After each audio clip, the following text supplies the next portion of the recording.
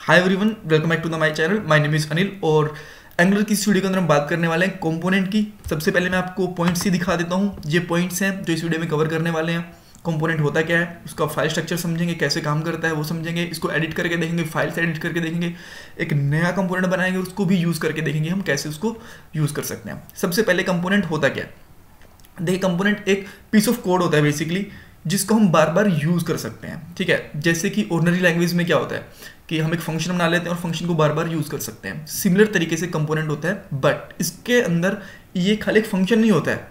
Angular के हिसाब से तीन चार फाइलों का ग्रुप होता है, जिसके अंदर मैं आपको फाइलें दिखाऊँगा एच फ़ाइल स्टाइल की फ़ाइल जी की फ़ाइल सारी फाइल्स आती हैं और उसको हम रीयूज़ कर सकते हैं। अच्छा रीयूज़ कैसे कर सकते हैं? मान लो कि पेजिनेशन बनाया आपने या फिर साइड बार बनाया, आपने हेडर बनाया, वो आपको हर एक पेज के ऊपर चाहिए होता है। सो बार बार तो आप हर एक फ़ाइल के अंदर तो नहीं लिखोगे।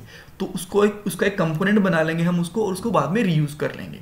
ठीक है? सो ये तो होगा बेसिकली कि कंपोनेंट होता क्या अब इसको समझते हैं। समझने के लिए मैं फ़ाइल का स्ट्रक्चर हमारे फोल्डर स्ट्रक्चर खोलता हूँ मैं। पिछली वीडियोस के अंदर मैंने रिएक्ट एंगलर कैसे इंस्टॉल करा था और कैसे इसका फ़ाइल स्ट्रक्चर क्या होता है, वो सारी चीज़ें देखी थी। अगर आपने वो नहीं देखी हो तो पूरी प्लेलिस्ट का लिंक डिस्क्रिप्शन बॉक्स में दिया हुआ है, वहाँ से आप देख सकते हो। ठीक है? सबसे पहले मैं सारे फोल्डर को लैप्स कर देता हूँ। आप सबसे पहले जाएँगे एसआरसी फोल्डर के अंदर, वहाँ पे जाएँगे अगर आप ऐप फोल्डर के अंदर जाएँगे तो आपको यहाँ पे बहुत सारी फाइल्स मिलेंगी, ठीक है? ये फाइल्स क्या है? ऐप की राउटिंग फ़ाइल है, इसके बारे में अभी डिस्कस नहीं करेंगे, आने वाली वीडियोस के बारे में बाद में डिस्कस करेंगे, ठीक है? एक यहाँ पे मॉड्यूल है, इसका भी हम बाद में डिस्कस करेंगे। उसके अलावा हमारे पास देखा जाए तो चार फ़ाइल है। एक तो app dot component dot C S S इसके सामने कंपोनेंट लगा हुआ है। Dot H T M L component dot H T M L component dot spec और कंपोनेंट डॉट टी एस तो ये चारों फाइलें मिलके एक्चुअली अपना एक कंपोनेंट बनाती हैं ठीक है? तो इसके अंदर उसका स्टाइल हो गया एच टी एम एल हो गया और ये स्पैक डॉट ये टेस्टिंग के लिए काम में आती है बाद में जब यूनिट टेस्ट केसेस करते हैं अभी बेसिक लेवल पे इसको हम नहीं छेड़ने वाले ठीक है? तो इसके बारे में कुछ डिस्कस भी नहीं करेंगे नहीं तो आप कंफ्यूज हो जाओगे। और बाद में होता है app dot T component dot T S file इसके अंदर हमारा जावास्क्रिप्ट पर कोड लिखते हैं ठीक है? सो ये uh, पूरा एक कंपोनेंट बनाते हैं इसके अंदर आ जाते हैं। सो so, मैं सबसे पहले आपको ओपन करके दिखाता हूँ ऐप डॉट कंपोनेंट डॉट जेस देखिए, इसके अंदर इन्होंने क्या करा हुआ है?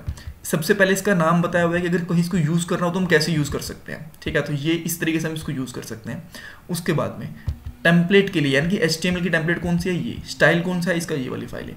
अगर आपको ये चेंज करनी हो ना तो आप ये चेंज भी कर सकते हो। कंपोनेंट अपने हिसाब से मॉडिफाई भी कर सकते हो बट डिफ़ॉल्ट स्ट्रक्चर ये होता है जो कि बेस्ट रहता है मेरे हिसाब से at a beginner level okay ये हो गया। इसके बाद में यहाँ पे एचटीएमएल लिखा हुआ है बहुत सारा। ये एच हम डिलीट करेंगे। ये जो सारा पूरा आपको दिख रहा है ना ये यहीं से दिख रहा है आपको, ठीक है? चाहो तो आप यहाँ से पूरा पूरा डिलीट भी कर सकते हो। अब मैं क्या करता हूँ एच वन टैग ले लेता हूँ और यहाँ पर लिख लेता हूँ हेलो एंगुलर ठीक है? सो अब मैं इसका आउटपुट देखता हूँ तो मुझे यहाँ पे इतना ही आउटपुट दिख रहा है, ठीक है?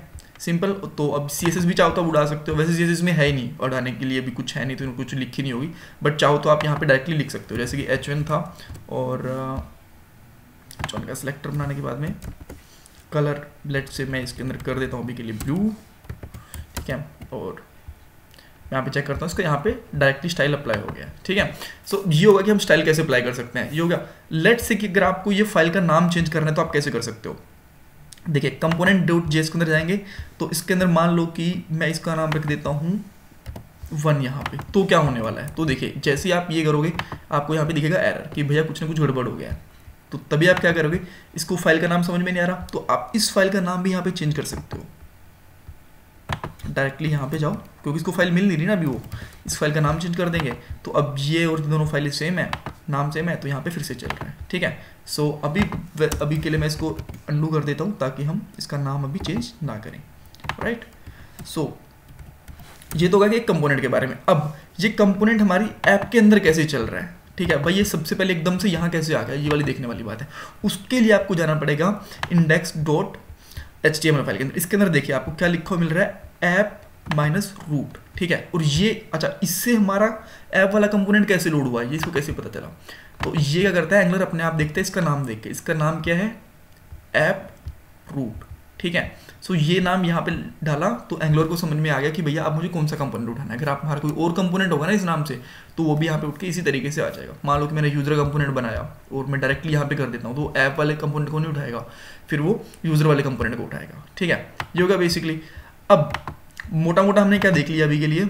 अगर थोड़ा सा जूम आउट कर देता हूँ, और तीन पॉइंट्स तो हमने कवर कर लिए हैं। अब एक न्यू कंपोनेंट बनाने के लिए हमें क्या करना चाहिए? उसके लिए आते हैं हम फिर से फ्रंट एंड के कमांड लाइन के ऊपर। कमांड लाइन बेस्ट है। चाहो तो आप मैनुअली बना सकते हो, लेकिन मैनुअल कैसे बनाओगे? एक यहाँ पे जाके कंपोनेंट ऐड करोगे, फिर बाद में काफ़ी सारी चीज़ें ऐड करनी पड़ती हैं, ठीक है?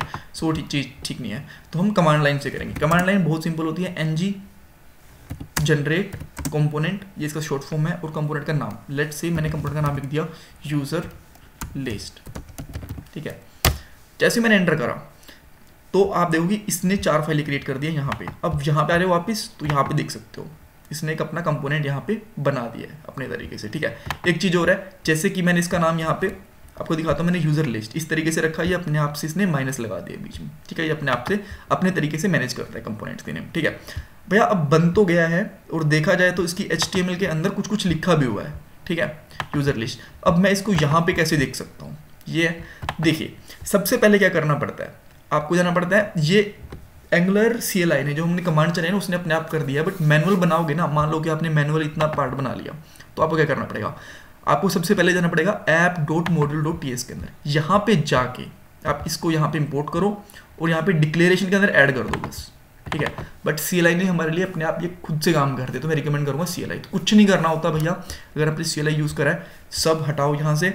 और डायरेक्टली इसको जो हमने लिखा हुआ है ना एंगुलर वाला ऐप डॉट जेस के अंदर तो यहाँ पे आके जस्ट सिंपली लिखो ऐप और यहाँ पे आप, आपको नाम कई बार अगर ध्यान नहीं है तो कहाँ से उठाना है, क्या उठाना है तो आप कर सकते हो, उसकी टी एस फ़ाइल में जाओ, उसका सेलेक्टर उठा लो, पूरा पूरा ऐसे सेलेक्टर ये सेलेक्टर उठाओ और यहाँ पे आके इसको इस तरीके से ओपन करो और बंद करो।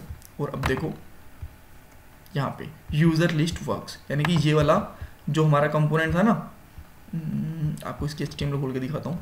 ये वाला ठीक है? ये भी हमें अब स्क्रीन के ऊपर दिखने लग गया है। मैं कुछ चेंज करके देखता हूँ अभी। अभी मैं क्या करता हूँ इसका जो टैग है ना इसको एच टू कर देता हूँ ठीक है? इसको मैं एच टू कर देता हूँ ताकि थोड़ा सा हमें बढ़ा दिखे ये। तो आप देख सकते हो थोड़ा सा टाइम लिया रिलोड होने के अंदर, और ये तरीके से काम कर रहा है। तो ये था कंपोनेंट के बारे में। कुछ समझ नहीं आया है, कुछ कन्फ्यूज़न है तो मुझे कमेंट बॉक्स में पूछ लीजिएगा। और जो अगली वीडियो होगी, हमारे वो मॉड्यूल्स के बारे में होगी, और बहुत सारी वीडियोज़ हैं, जो भी मैं लेके आने वाला हूँ तो चैनल को सब्सक्राइब करना बिल्कुल भी मत भूलिएगा। Bye bye take care